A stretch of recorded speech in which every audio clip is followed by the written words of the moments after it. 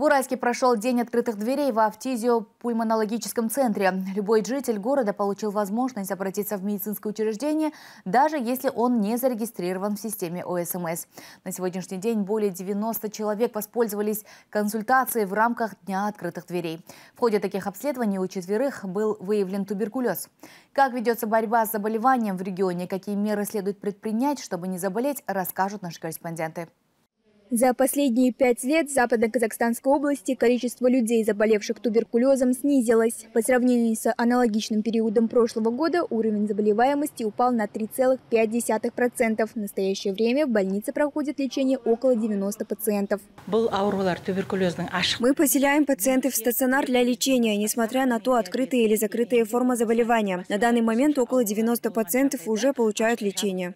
Врачей беспокоит то, что, несмотря на наличие оборудования для ранней диагностики болезней, граждане без медицинской страховки не обращаются в медицинские учреждения. В связи с этим в областном центре был организован День открытых дверей. В рамках этой акции обследование прошли 92 человека, и у четырех был выявлен туберкулез.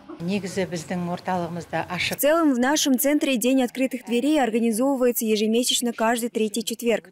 Цель мероприятия – профилактика заболевания туберкулезом и определение его на ранней стадии.